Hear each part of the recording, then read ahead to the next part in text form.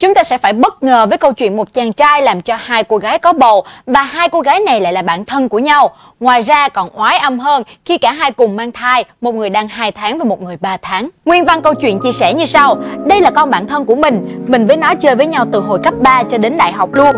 Mình với thằng người yêu mình ở chung với nhau được một năm Thỉnh thoảng mình có dẫn bạn về phòng chơi, ăn cơm, tiện thể ôn bài chung Dạo gần đây mình đi làm thêm, xong tập quân sự thì ít khi ở phòng Nhưng lần nào về cũng bắt gặp bạn đang ngồi nói chuyện với người yêu của mình.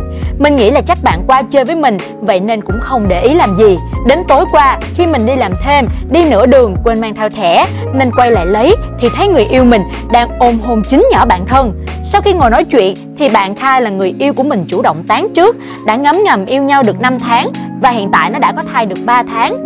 Đến lúc này thì mình lặng đi, vì mình cũng mang thai được 2 tháng rồi. Bây giờ mình rất bối rối, không suy nghĩ được gì. Bố mẹ cho tiền lên đại học học thì không lo học đi, mà đi sống chung với trai. Bố mẹ biết thì chắc sẽ đau lòng lắm đó.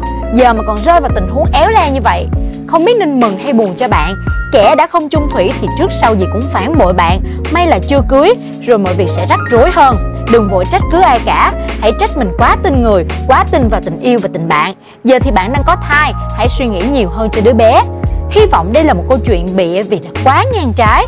Một số cư dân mạng chia sẻ. Tình yêu không có lỗi, lỗi ở bản thân. Tưởng chừng như chỉ có trên phim thôi Lại xảy ra với cô bạn này. Tuy nhiên, bên cạnh một số người đồng cảm Thì cũng có rất nhiều người lên án lối sống buông thả của giới trẻ Trong thời đại hiện nay.